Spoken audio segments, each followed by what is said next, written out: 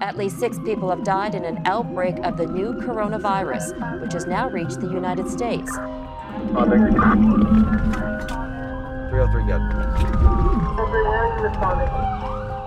I really wish that we could bring people into the hospitals and just for a few minutes show the kind of agony that we're seeing. This is a battlefield and we've turned ourselves from nurses into soldiers. We're the epicenter of the world and it's a, a direct result of the policy decisions that have been made. The things that I see in the ER are scary. I'm a little scared myself. I'm in the funeral business, but I am tired of hearing the word death.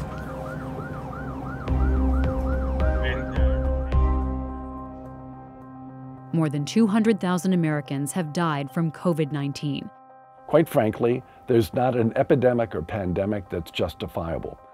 It is still taking hundreds of lives each day. And we have it under control. It's uh, going to be just fine. And it didn't have to be this way. It's going to disappear. One day it's like a miracle, it will disappear. You can't say things like that when you're the president. This crisis is real, the virus is real, people are dying. COVID 19 is a health crisis without precedent in modern history, but it did not arrive without warning. Diseases know no boundaries, they threaten us all. A pandemic is a lot like a forest fire.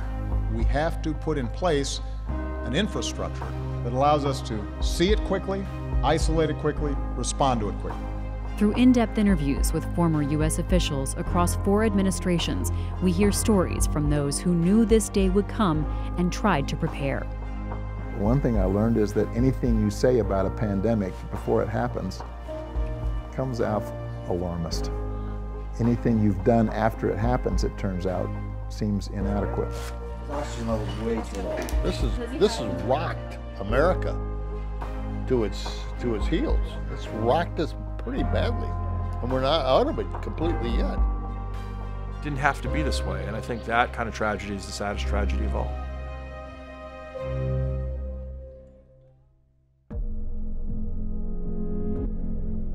We must be able to recognize a biological attack quickly in order to stop its spread. We will work to upgrade our public health systems for detection and warning, to aid our preparedness against terrorism, and to help us cope with infectious diseases that arise in nature. Bill Clinton was a very interesting person. He was intellectual, he read a lot of things, and he read along the way a, a book called The Cobra Event. And The Cobra Event was about a biologically engineered uh, virus that caused a huge global pandemic. For President Bill Clinton, it was a piece of fiction and a real life defector that set off the first alarms about the threat of a pandemic. In the previous five or six years, there was a defector from Russia who described a long term Russian offensive bio attack program that they were building in Russia to potentially use against the United States.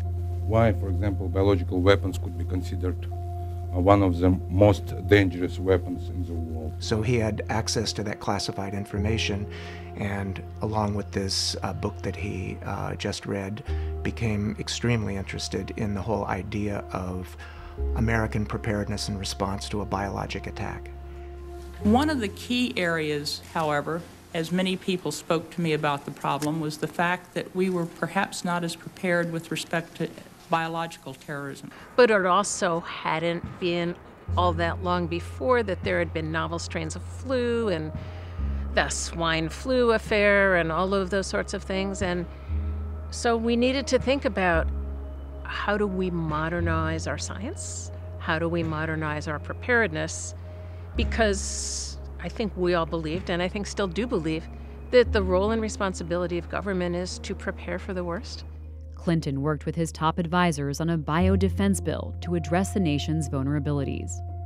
It was also, I think, during the Clinton administration that people really started to worry in a, a more structured and serious way about pandemic preparedness and the way vaccines were made and our vulnerability. Creating stockpiles of medicines and vaccines to protect our civilian population against the kind of biological agents our adversaries are most likely to obtain or develop.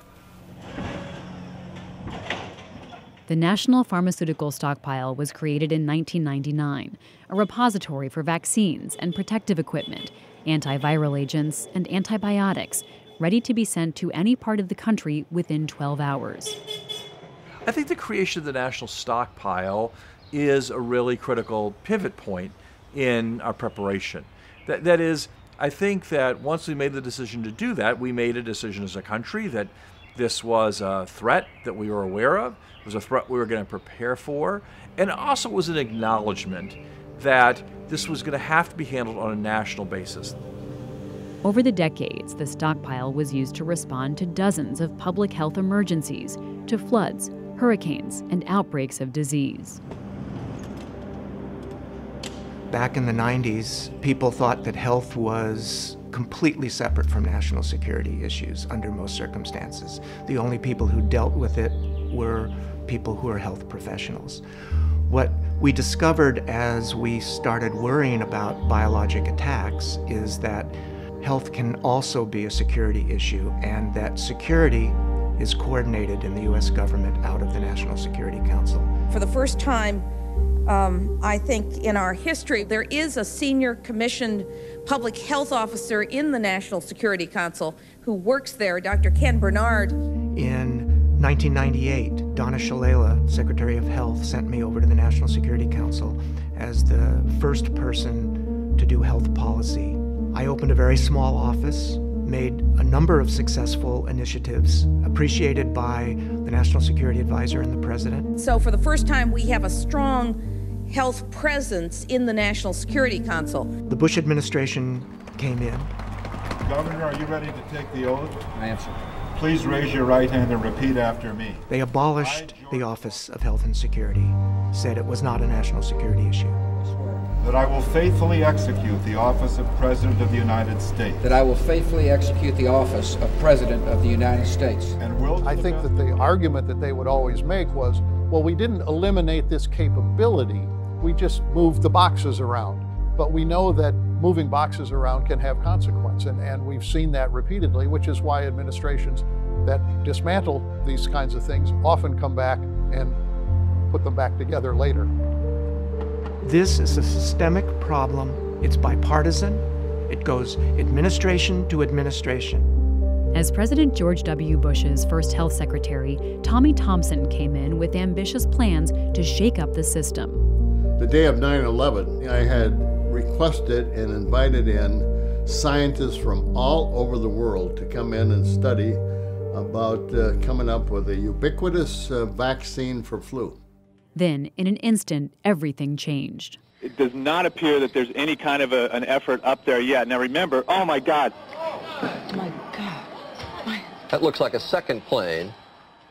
Found out from uh, until 9-11 that uh, there was very little uh, acceptance in Congress of putting money into public health. Attacks on two American cities, New York and the capital in Washington. But as soon as 9-11 happened, Congress could not uh, throw money at it fast enough. And uh, I don't believe that in the previous administration there was enough investments in the public health system. And I'm not being critical, I'm just stating a fact. If 9 11 set the gears in motion for Congress to act, it was another attack that made health security a priority in Washington. Senate office buildings on Capitol Hill and postal facilities along the East Coast would all become contaminated with anthrax spores. After 9 11, we were attacked a second time. Someone or some group, we didn't know at the time, with anthrax. And it was mailed around in letters all through the fall of 2001. President Bush is calling those people who are mailing these anthrax letters evildoers, and he says any attempt to terrorize this nation is going to fail. And so when anthrax happens, the first question really is is this an Al Qaeda attack? We never got the answer to that. We still don't know to this day. But it did spark the fact that it could have been Al Qaeda and that we were vulnerable to this type of an attack, I think really focused people. Bioterrorism is a real threat to, to our country. Kenneth Bernard had lost his position on the National Security Council when Bush took office. Now he got a call from Homeland Security Advisor Tom Ridge. They wanted him back. I walked into his office and he took one look at me and he said, You're the person we need, and uh, hired me on the spot. It was interesting. Um, he said, I want you to hire anybody you need to do the job. I'm sorry, I'm, I don't know why I'm getting emotional about this. I was proud that we had leadership in this country that knew what to do when there was a crisis. And I was proud to be able to take part in that and to try to contribute the best I could.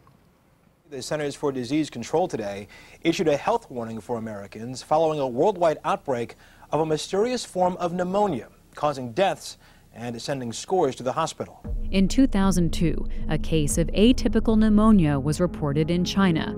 Later known as SARS and caused by a new coronavirus, it spread to 29 countries and killed close to 800 people. Nearly two decades before COVID 19, SARS was a warning that naturally emerging health threats could be just as dangerous as man made ones. And at the time, it was the first of the really serious coronavirus outbreaks. The world had a preview of the disruption an influenza pandemic can cause. The coronavirus that causes SARS had a very high case fatality rate. It didn't spread as easily through some pretty aggressive actions by China and Hong Kong and other places where it occurred. Uh, it was tamped down and disappeared. All this was caused by a limited outbreak of a virus that infected thousands and lasted about six months.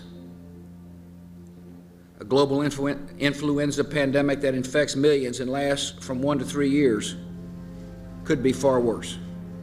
It emphasized to us at the White House that we had to start dealing with uh, the potential of serious emerging diseases that weren't necessarily intentionally started by a foreign government. We didn't get attacked by them, but nature just evolved them.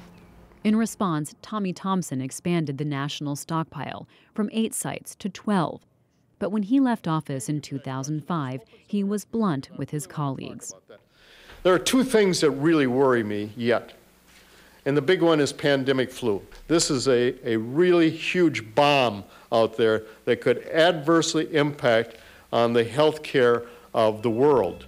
And I said, this is what you have to do. We have to get respirators. We have to get ventilators. Does that sound familiar? We have to get beds for our hospitals for surge capacity. We have to get uh, antivirals. We got to have to get a lot of the therapeutic drugs. And uh, I had a whole list of things that needed to go into the strategic stockpiles. I will miss this place. But there is still much to do to better the well being of Americans.